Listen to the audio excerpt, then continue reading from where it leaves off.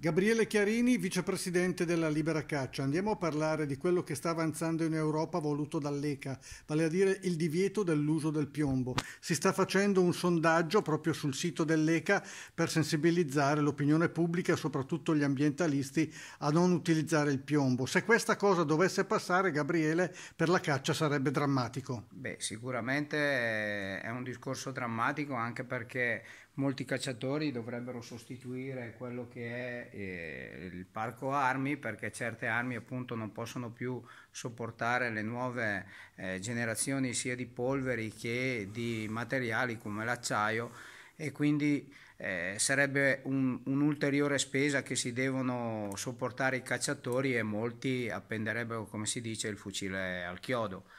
Indubbiamente abbiamo, come associazioni sicuramente cercheremo di fare delle pressioni, specialmente con l'onorevole Fiocchi che eh, abbiamo sentito anche la settimana scorsa, anche perché abbiamo visto che mandare questo, questo messaggio, questa mail all'ECA, eh, sia per chi ne sa già utilizzare di computer, e, insomma è un po' difficoltoso, non è che non, non si riesca, però indubbiamente bisogna avere qualcheduno che sappia utilizzare abbastanza bene il computer e quindi magari cercheremo come associazioni di mandare, non so, delle, dico così, delle mail collettive dove appunto le associazioni che rappresentano 70, 100, 200 mila cacciatori si facciano portavoce di questo. Questo infatti è un problema a livello europeo e non solo italiano. A livello italiano abbiamo avuto altri problemi in questi giorni, in queste settimane, in questo periodo che riguarda gli attacchi degli animalisti, sempre più consistenti, capanni distrutti, gomme tagliate,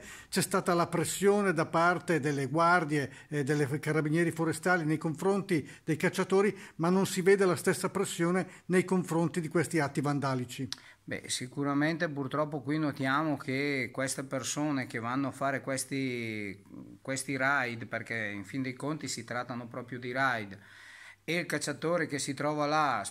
da solo o via dicendo, indubbiamente vedersi circondati da 8-10 persone, dei forsennati che distruggono o che librano richiami vivi e, e, e quant'altro, insomma eh, non è che il cacciatore eh, sia poi tutelato dalla eh, parte giuridica, indubbiamente eh, sappiamo che ci sono molti bracconieri che fanno parte della nostra categoria o appena fuori dalla nostra categoria e quindi automaticamente anche, anche loro vanno perseguiti, però il, l'onesto cacciatore che rimane eh, ligio alle regole e via dicendo esiste, fa una caccia etica si accontenta e indubbiamente questo non ha nulla da temere nemmeno non equipariamo però il bracconiere al cacciatore assolutamente su questo non c'è nessun dubbio che il bracconiere rimane bracconiere e il cacciatore eh, avendo pure a volte i bracconieri che riescono a sfuggire alle maglie della giustizia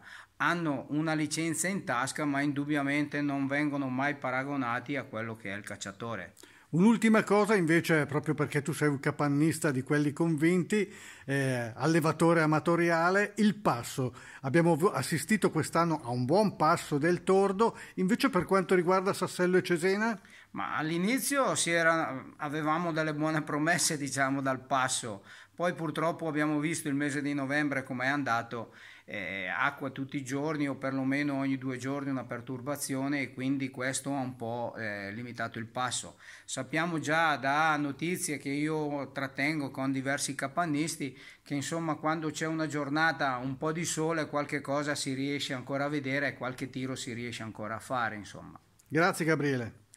Grazie a voi.